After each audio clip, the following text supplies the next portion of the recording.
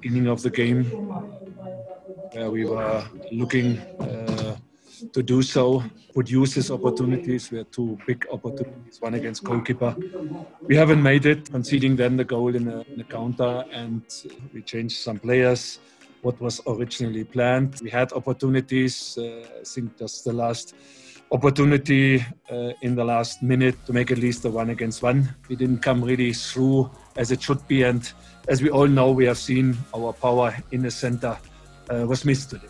Everybody can believe that we really, really going very clear, structured in the technical team. We know which players are really have.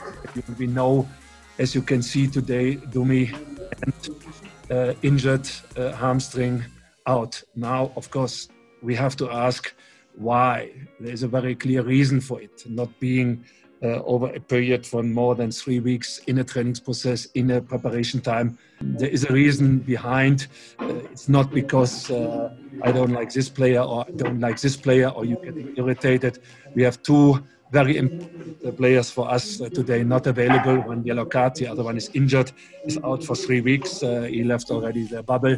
We really played, I think, uh, in the box regularly. There were eight or nine players, and then it's always difficult. We came through uh, two, three times uh, where I thought, okay, uh, there is a possibility. We had some two, three good shots from the distance immediately with the beginning. Another one uh, and uh, finally a header uh, out of two meter. And of course, it's it's, it's always something where where you have a certain issue, a certain problem if you play this deep sitting block.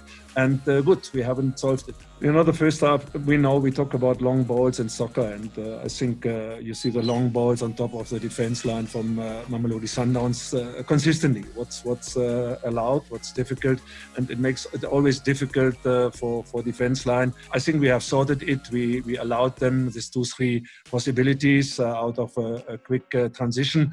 Second half, of course, it's it's it's for a team in in such a way to to make it happen. But of course, it's league team. It's league team to work with uh, eight nine uh, in the boss uh, in the box to handle it like this, and, and it's up to us to sort it. Compliment in this moment to Sundowns. I think it's of course disappointing from the result today, but as we have seen in the second half, we really Uh, were running uh, basically placed uh, uh, nearly 45 minutes uh, in one and a half.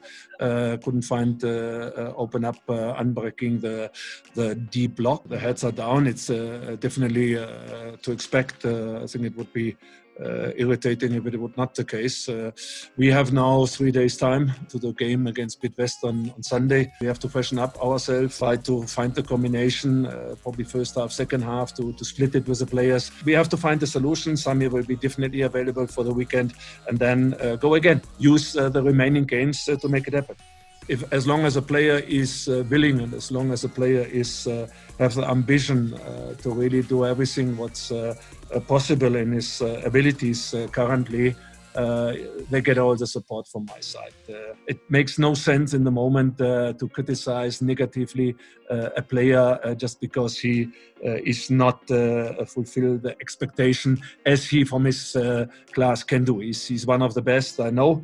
we know, but the background is a little bit different in the moment, and that is something where.